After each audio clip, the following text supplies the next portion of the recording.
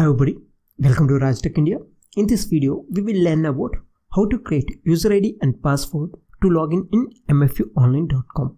MFU Utilities or MFU India, it is one of the best platform to buy mutual funds of various AMCs at one place.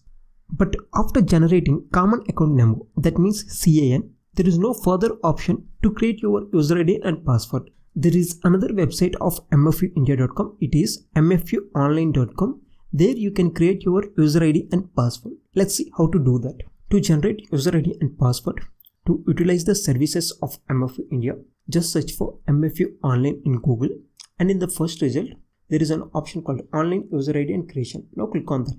Now the page will open like this and I will provide the link of this page in below video description also.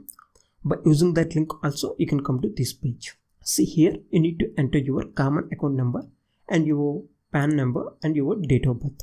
After entering all the details, click on submit.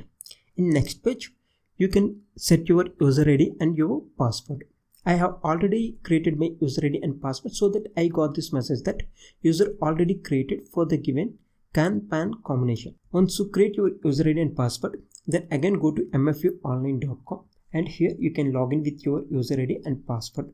After that, you can buy your mutual funds at mfuonline.com.